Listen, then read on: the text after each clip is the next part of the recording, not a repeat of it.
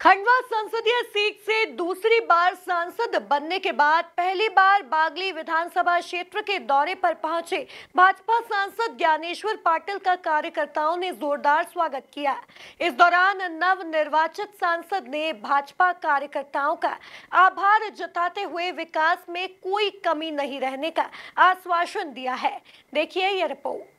मध्य प्रदेश की 29 लोकसभा सीटों पर बम्पर जीत के बाद भाजपा एमपी को विकास की नई रफ्तार देने पर ज़ोर दे रही है। यही कारण है कि एक दिवसीय दौरे पर खंडवा लोकसभा क्षेत्र के बागली विधानसभा के सीतावन मंडल के उदयनगर पुंजापुरा में आभार व्यक्त करने पहुँचे खंडवा सांसद ज्ञानेश्वर पाटिल का भाजपा कार्यकर्ताओं के साथ क्षेत्र की जनता ने भव्य स्वागत किया। देखिए ऐसा है की जो आपको समस्या दिख रही हो, है वह एक एक काम।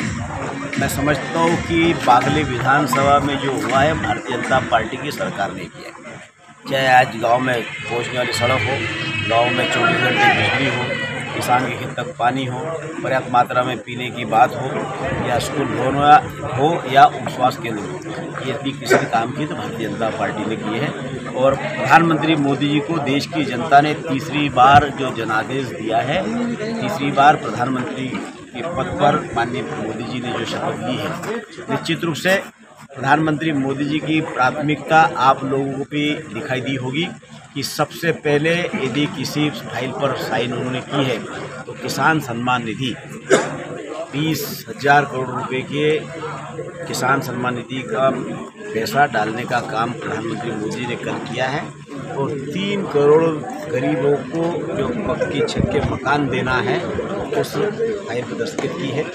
तो प्रधानमंत्री मोदी जी के नेतृत्व में हम सब लोग काम कर रहे हैं। वहीं इस मौके पर खंडवा सांसद ज्ञानेश्वर पाटिल, सीतावन मंडल अध्यक्ष शैलेंद्र अग्रवाल भाजपा जिला उपाध्यक्ष जयप्रकाश शर्मा, पूर्व भाजपा जिला अध्यक्ष महेश दुबे, मंडल महामंत्री जितेंद्र यादव, पूर्व मंडल अध्यक्ष मनोहर सिंह नायक, सरदार सिंह काग, हीरालाल पटेल, लखन सिंह पटेल, लक्ष्मण सिंह परिहार, जीतू मित्तल, समस्त भारतीय जनता पार्टी के युवा वरिष्ठ कार्यकर्ता मौजूद थे।